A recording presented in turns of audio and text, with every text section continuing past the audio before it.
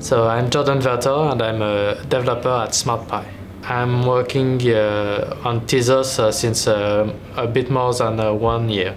So at SmartPy, uh, I started developing smart contracts. The more I'm working at the SmartPy, the more I understand about the whole development. Working on Tezos is uh, really uh, great because you have a very good community.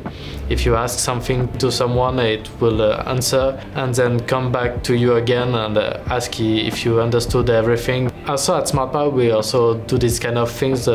we answer like daily to users and it's a really interesting interaction uh, with people so I think it's one of the best things uh, on Tezos. SmartPy is uh, really good in terms of uh, technology. I'm learning a lot of uh, different things and uh, we are an important part of the decentralized uh, application uh, development. So a smart contracts, it's an application like you would have on your phone, but it runs on a decentralized manner on the top of a blockchain.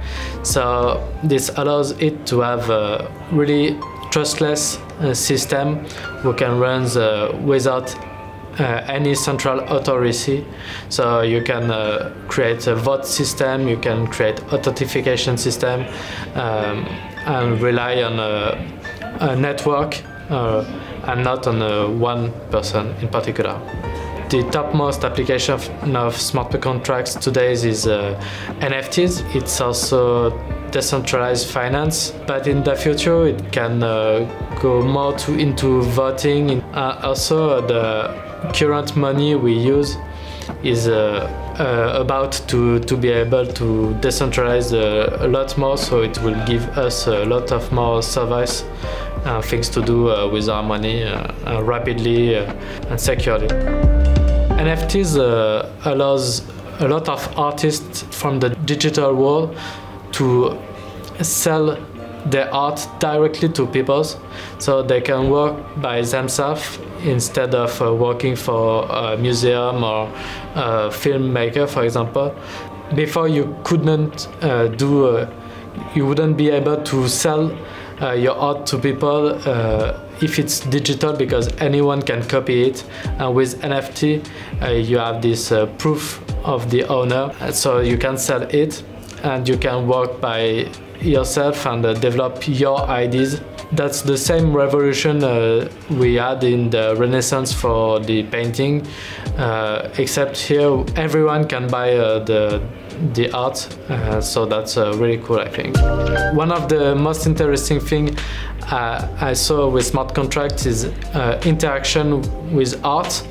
As an example, I'll present later today a contract where NFTs can only be shown at night. So it's called uh, Dracula NFTs. It's an example, but it's uh, an idea of what we can do with uh, this kind of things.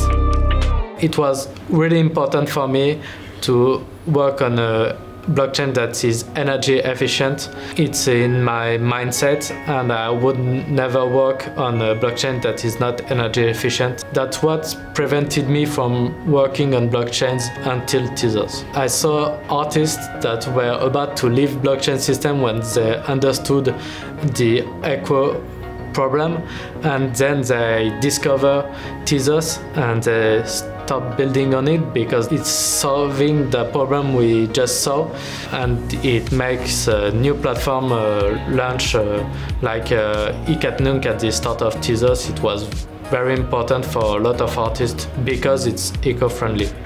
I think uh, blockchain can change the world in the way we see things.